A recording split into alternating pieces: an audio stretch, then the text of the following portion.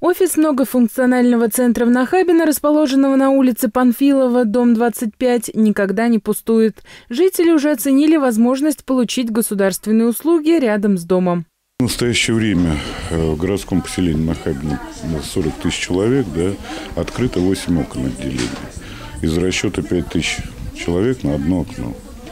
Значит, э, работа, ну, я могу привести цифры. Цифры гласят следующее. С 1 января 2016 года прошло, э, ну, прошло заявителей 6868 человек, заявителей, которым были оказаны услуги.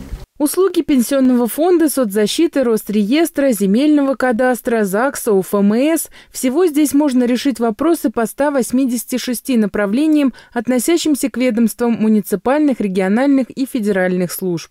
Наиболее востребованы, это, конечно, соцзащита услуги, да, получение льгот, получение СНИЛСов, получение соцкарт, э, также постановка э, на учет детские сады, на очередь детские сады.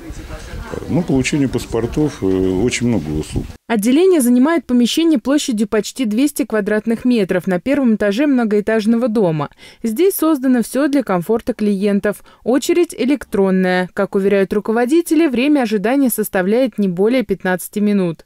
Если пришли с детьми, им понравится специальный уголок. Взрослые же пока могут выпить кофе из автомата или бесплатно зайти на портал госуслуги. Помещение адаптировано и для маломобильных граждан.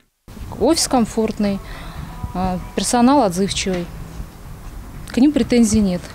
Кроме центрального офиса, в Нахабино открыто и удаленное рабочее место на одно окно. Жителей ждут в доме 28 на улице Советской с 8 утра и до 8 вечера. Валентина Титова, Михаил Петухов, Марьяна Быстрова, КРТВ.